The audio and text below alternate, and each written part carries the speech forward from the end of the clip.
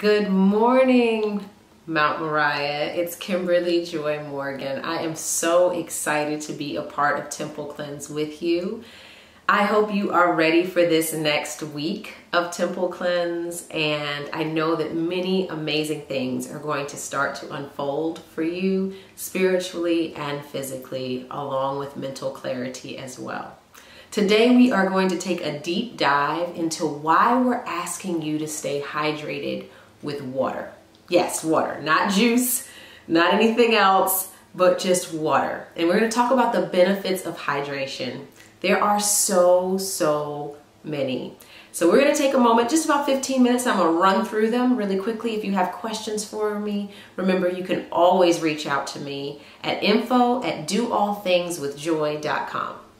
So why is it important to stay hydrated? Well, it's important for electrolyte balance. It supports our digestion.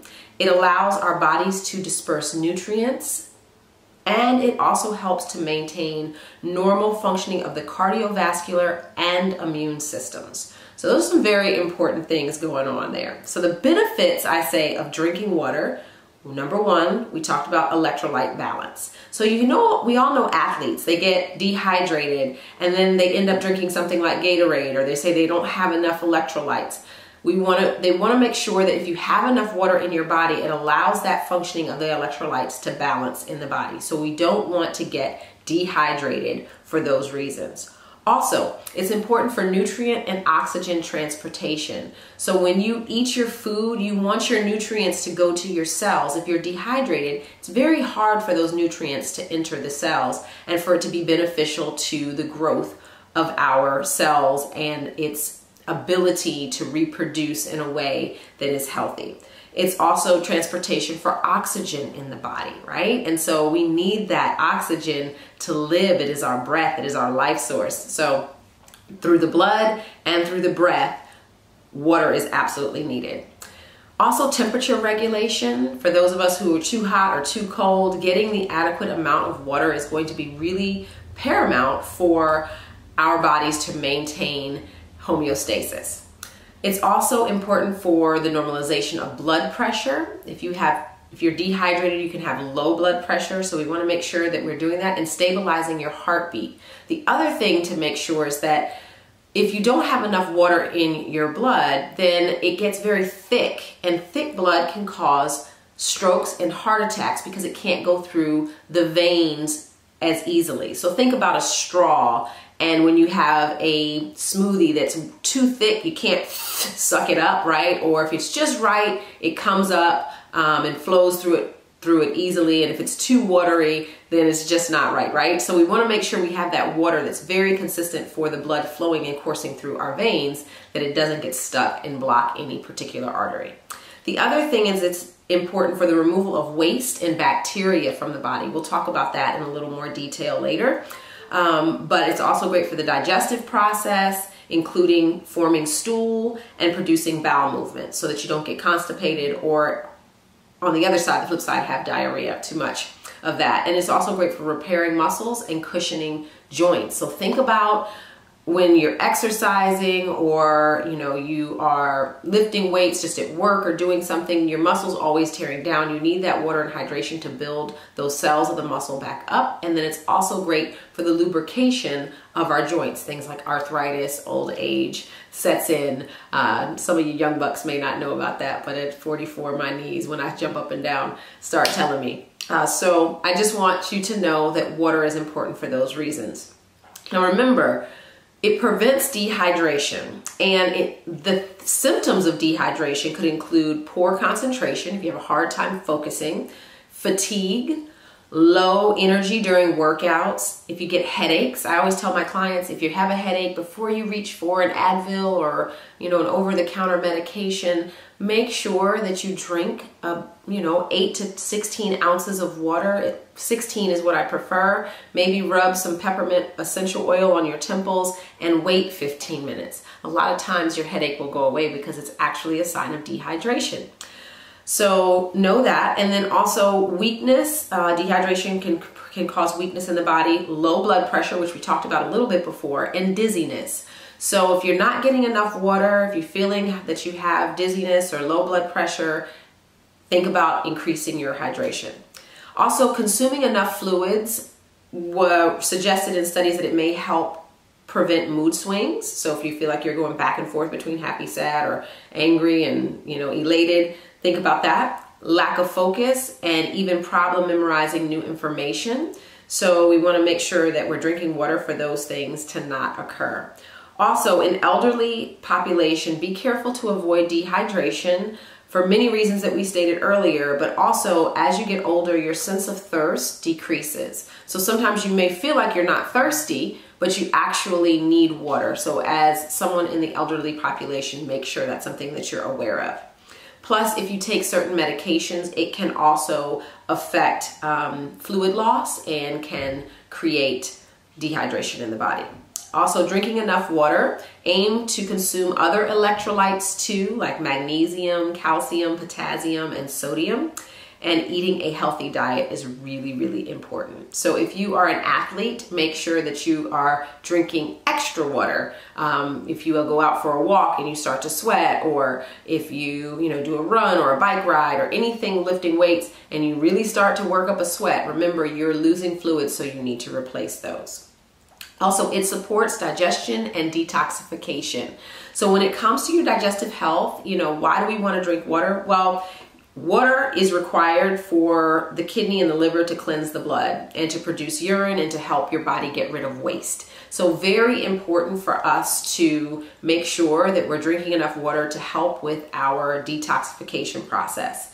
And it can also help us to not develop kidney stones. And I have heard they are about as painful as childbirth. So I want you to make sure that you are drinking water and even lemon water can help reduce the possibility of developing kidney stones. So that's very important. Also staying hydrated when you're sick is important and I hope no one's dealing with that, but it also increases the amount of mucus that you have so that you can get that out and it's beneficial to carry white blood cells and germs out of your diet all right? So that's very important. The other thing I want you to make sure that you're aware of is that when you drink water and you eat fiber beneficial dietary fiber you're less likely to deal with constipation or diarrhea.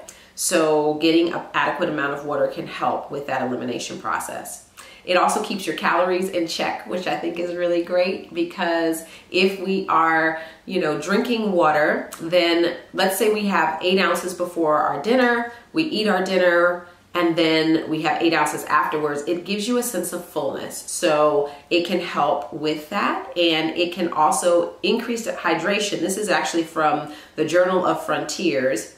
It says that evidence from human and animal studies show that increased hydration leads to body weight loss, maintaining through a um, decrease in feeding and a loss of fat through increased lipostasis. So that's utilization of fat. So just know that your body may burn more calories the more water you drink, which has a positive effect on your metabolism. All right, so remember that.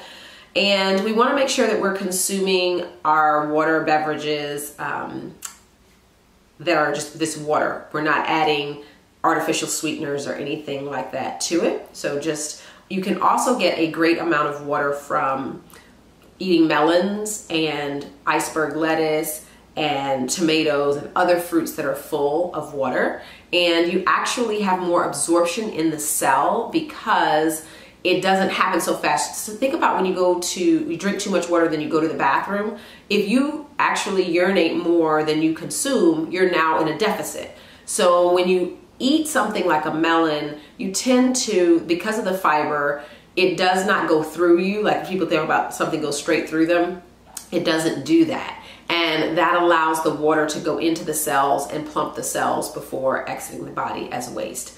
So you can think about that as well. The other great thing about drinking a lot of water is that it will improve your hair, your skin, your nails, all of that. So brighter eyes and thicker hair, all that kind of good stuff. So hydration is really important in that matter. If you tend to have bloodshot eyes, I would say increase your hydration, especially if you're getting enough sleep. And your skin will not be dull. You'll have a nice luster to it. So I think those are some of the benefits I wanted to run through. I'm kind of looking at my notes. Um, now the big question is how much water should I drink? And there is a jury out on that. So the Institute of Medicine recommends 9 to 13 cups of water per day. The Harvard School of Medicine tells us that 4 to 6 cups is standard. And then studies included by the National Institute of Health suggest between 6 and 10 cups. Now my head is spinning. Let's just say this. Why don't we try to do instead of 8 cups Think about your body weight. If you're 120 pounds, you need 60 ounces. If you're 150, you need 75. If you're 200, you need 100. If you are over, if you're 300 or over, it's very difficult to get 150 ounces of water in a day. So just aim for that 100 mark and do the best you can, okay? So that's one of the things we wanna make sure. Now, how do we get it in? I always say carry around a stainless steel water bottle, kind of like I have. This is my best friend. I have one in pink and I have one in rose gold and I fill it up with water every day. Start with 16 ounces of water first thing in the morning if you can. And if you have a hard time just drinking plain water, I suggest adding essential oil, something like a um, Citrus Fresh from Young Living or lemon essential oil. Now, please do not go to Walmart, Target, TJ Maxx, or Walgreens to buy your essential oils. I know that Pastor Byron knows how to get therapeutic grade essential oils like this. If you don't and you need some help, I can help you as well. Um, but don't, please don't go out and just get any kind of essential oil and put it in your water. But essential oils and water are really, really good. Gives it great flavor and it makes you want to drink them more often.